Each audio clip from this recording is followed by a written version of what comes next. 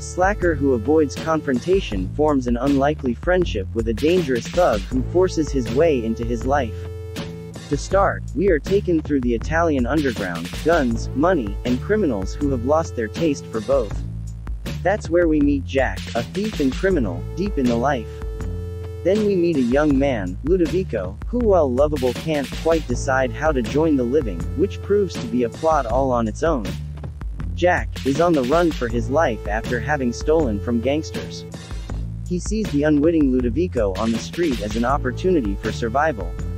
Jack quickly surprises Ludovico at gunpoint and forces his way into his apartment and life.